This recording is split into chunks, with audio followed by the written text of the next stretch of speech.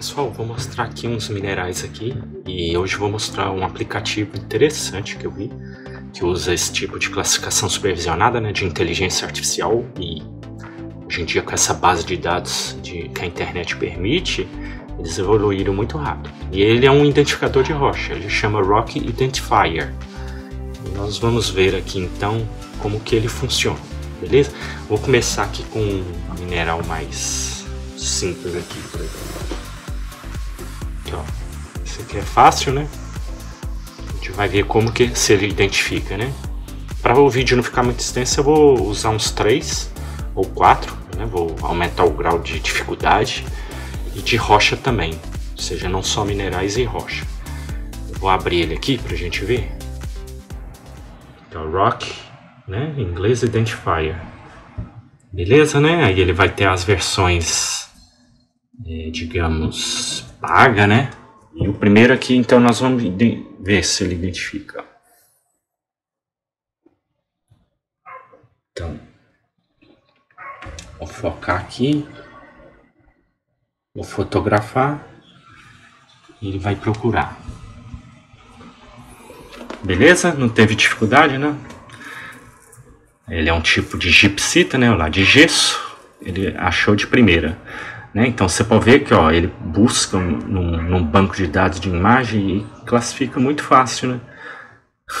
Tira muita coisa. Então ele vai vir em alguns dados técnicos, né? A, a, fórmula química, a dureza, se é magnético ou não, as formas de ocorrência próximas, né? Ó, propriedades físicas é muito interessante, né? Ó, a cor, magnetismo, traço, são, são propriedades físicas que a gente usa para poder clivagem, fratura, densidade para identificar, né? Analiticamente, digamos assim. É, ele costuma dar outras opções, então, por exemplo, aquele de primeiro ele já identificou como corretamente, né? Aqui ele chama de rosas de areias, mas eu chamo, chamo ele de rosa do deserto. Então, ó, uma outra opção seria barita, ele procura por similaridade, né? Ágata não, já seria errado. E caso não identifique, eu posso corrigir o nome. Bem, esse primeiro aí não tem muita dificuldade, né? Vou procurar outro aqui agora. Né? Um tipo de microclean aí, é, chama Amazonita, isso mesmo, não teve dificuldade. A opção 2 aqui seria calcedon, aí já erra bem. Bem, ó, mesma coisa, várias propriedades, viu que ele não tem muita dificuldade de identificar minerais com cores características, né? É mais simples de identificar.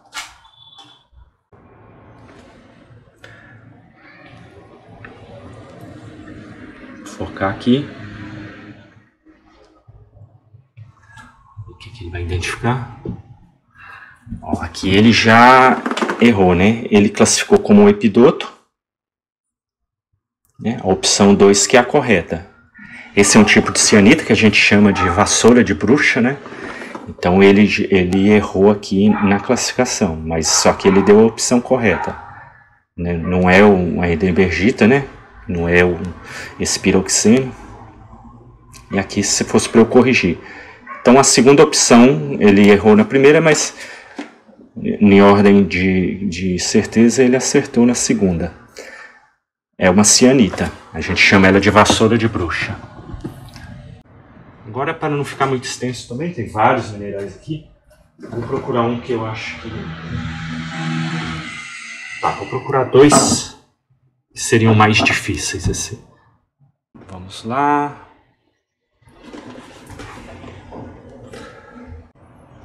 Acho que esse aqui talvez ele vai ter mais dificuldade de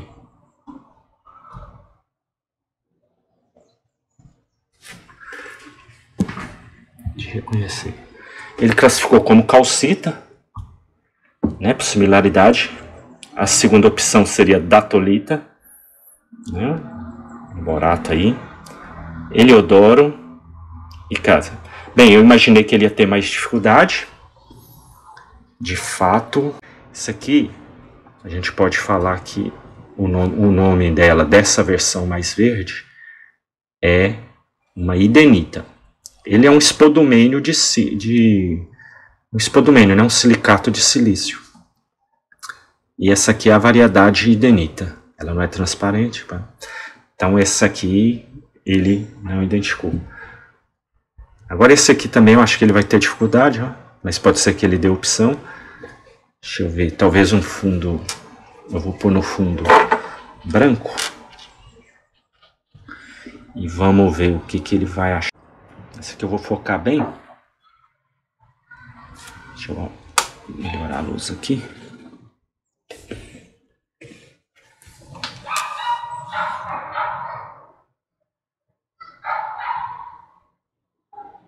Talvez a iluminação não é a ideal, né? Olha, ele classificou como uma eubaíta, a opção 1, né? Que é uma turmalina também, ela costuma ter a cor azul, né? A mais valiosa, né? Um heliodoro, né? Que seria um, um berilo. Diásporo, também não. Não. No caso aqui, ele não identificou. Esse mineralzinho, imaginei que ele ia ser mais difícil. Isso aqui é um peridoto. Olivina gema, né? Então, de fato, ela é mais difícil de ser identificada. Muito bonita, por sinal. Beleza. Para não se prolongar muito, a gente vai... Eu vou agora escolher rochas. Peguei uns três tipos de rochas aqui pra gente testar bem aqui.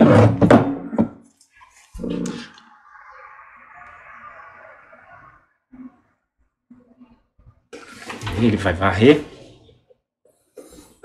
Então a opção seria o milonito, que que não é uma má opção, né? A gente pode ver a rocha. O migmatito um Gneiss e um terceiro nome. Então, Gneiss, Migmatito e Milonito. Bem, ó, ela não tem trama, não tem foliação milonítica, tá vendo? Também não é uma rocha aí de alta temperatura metamórfica. A gente pode ver uns olhinhos aqui. Na verdade, isso aqui é uma sequência metavulcano sedimentar, entendeu? uma rocha de origem vulcânica que foi deformada. Mas você vê que ela não tem fusão para ser um megmatito, não tem nada. Então, bem, você tem os olhinhos ainda preservados. Essa é uma rocha da província Borborema, né? Cerca de um gigantes. Bem, aqui também ele falhou, mas ele deu as opções. Vou procurar uma outra opção aqui.